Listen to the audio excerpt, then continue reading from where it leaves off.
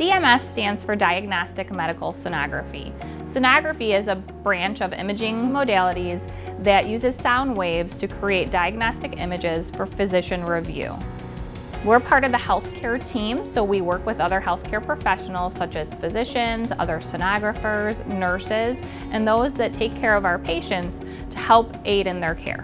Our certificate program is a 15-month program for X-ray technologists and nuclear medicine technologists that want to expand their career and go into ultrasound.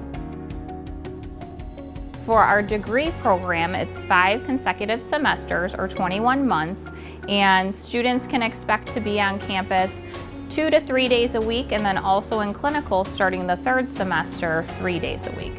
Clinicals consist of both weekday and afternoon shifts as well as weekend shifts, usually Saturdays based in hospital setting as well as outpatient settings. And we do also go to some maternal fetal medicines, so a little bit higher practice doctor's offices as well.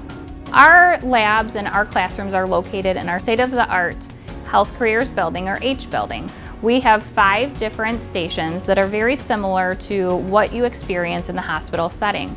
We do like to do simulations with other healthcare professionals, so we'll partner up with nursing, surgical tech, and radiology to do realistic simulations using mannequins in real life so that we can see how the healthcare team works together.